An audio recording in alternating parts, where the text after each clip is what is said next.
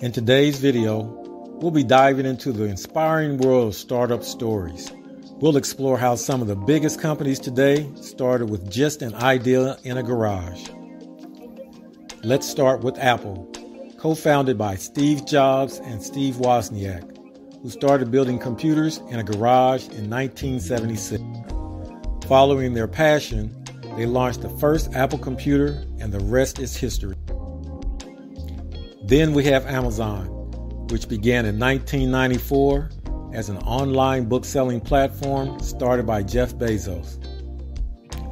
Working from his garage, Bezos went on to build a global empire worth over $1 trillion today.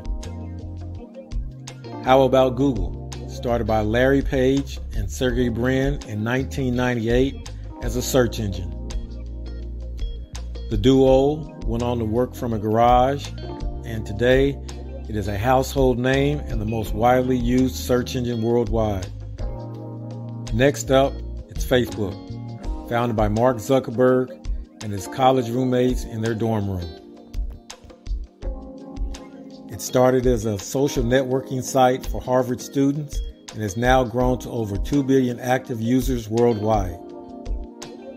Another startup story is that of Uber, started in 2009 by Travis Kalanick and Garrett Camp. They solved a real life problem of requesting transportation through an app now worth over $100 billion today. And then there's Airbnb, founded by Brian Chesky, Joe Gebbia, and Nathan Blecharczyk in 2008.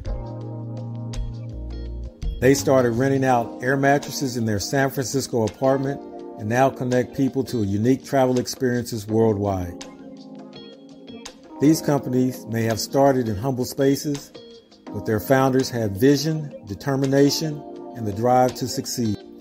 They remind us that anything is possible with hard work and dedication.